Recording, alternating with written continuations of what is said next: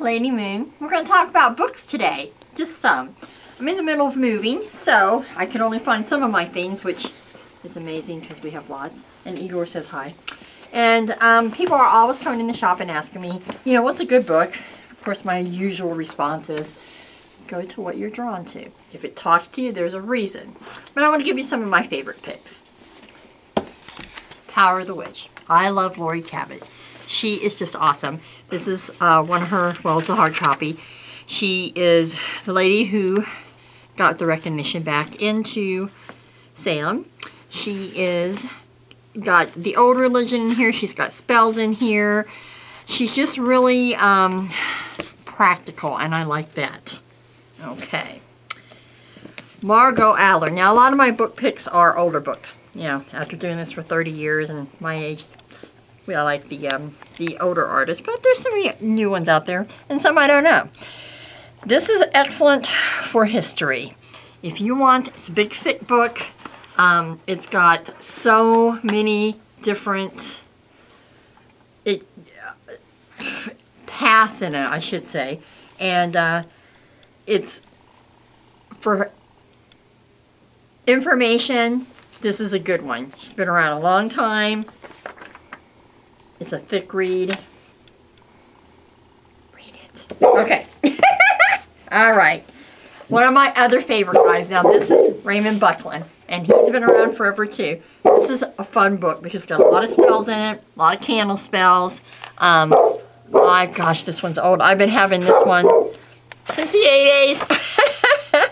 and Buckland I couldn't find his other book that I like too, which I actually make for beginners. It's a good one. It's a complete book of witchcraft. But this has spells in it. So, many times people come in the shop, you have a good spell book? This would be a good one for them. And that was Practical Candle Burning Rituals, oh, right? Oh, could you not see it? I'm sorry. You just didn't say the title. Oh, well, I'm bad. Okay. Witch's Goddess. I can't find, there's a complimentary book that goes with this. It's The Witch's God. this is the Farrars, and the Farrars are in the English. Oh, look, papers in there. This one is not one you're going to sit down and read. You can. There's a lot of good stories in the beginning of it, but it's more of a dictionary. It gives you probably the most comprehensive of gods and goddesses from every walk. You know, from India to Buddhist, you name it, Japanese, they're in here and this is really good just to have in your library for a reference. Of course, get the other one, the Witch's God, to go with it because then you're going to have both deities talked about, which is wonderful. All right, one of my favorite guys of all time, Scott Cunningham. He is, every one of my children have to read his books. Um, I like Wicca for the Solitary by Scott Cunningham. This is a good one that's very similar to that because I couldn't find that book to show you today. But um, Cunningham is so easy. It is wonderful books to start with because he's all about being in tune with the Mother Earth. And for him, you don't have to go out and buy a bunch of stuff, which is exactly how I feel. If you want to do later on in your walking in your path, then that's fine. But when I started, uh, single mom, I didn't have lots of money, so walking on the beach and finding a wonderful goddess shell, a friend of mine gave me um, an antler that they have found in the forest for my god and goddess. That was my statues. And with his guidance, that's the type of thing that you can do. He's a wonderful herbalist. His herbalist books are magnificent. So Cunningham is a definite read. This one's good. Wicca for the Solitaire, equally good. Campanelli's. This is the Wheel of the Year. I like this book. It's older um, because this tells you the seasons for the witches. And it has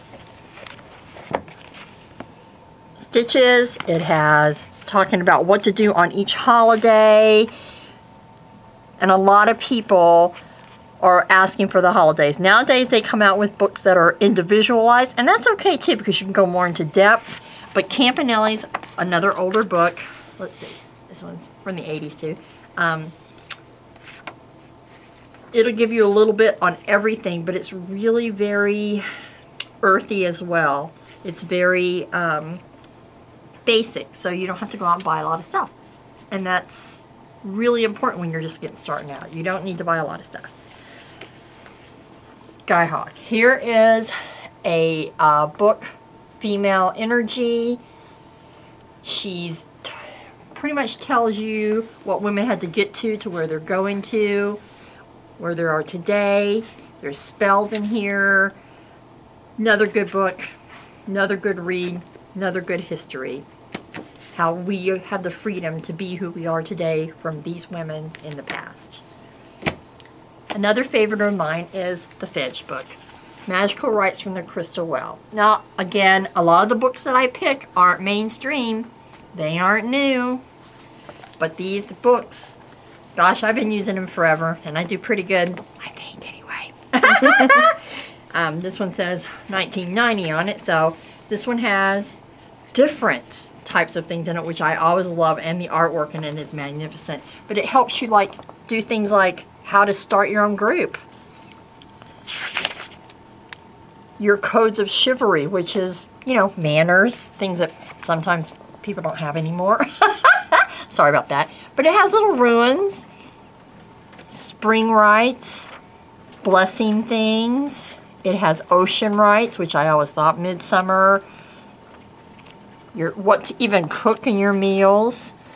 It's a really, really good book. It's beautiful. I love the artwork in it. I love the ceremonies in it. Good book.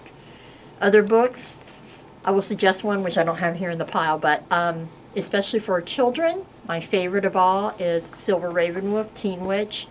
Both of my girls had that book. Um, excellent to really positive energy for the children.